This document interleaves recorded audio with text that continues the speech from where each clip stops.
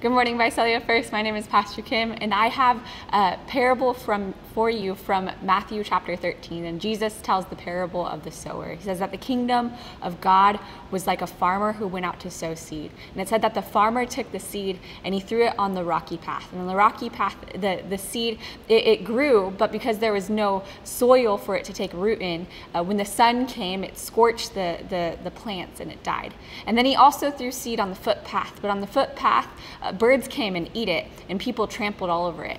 And then he took seed and he threw it on some soil, but that soil had weeds in it. And it says that the, the weeds took over the, the seeds and they began to die because they didn't have sunlight that they could catch.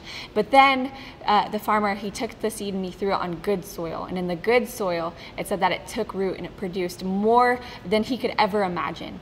And so from this parable, we can take that what type of soil are you? Are you the rocky soil that just withers away when hard times come? Are you the soil on the footpath that gets trampled over by others, that gets, uh, you know, their, their, their goodness taken out of them by others? Are you the, the soil with the weeds that you allow people just to take the goodness out of your life? Or are you the good soil that when a seed is planted, when God plants a seed in your life, it does have time to take root?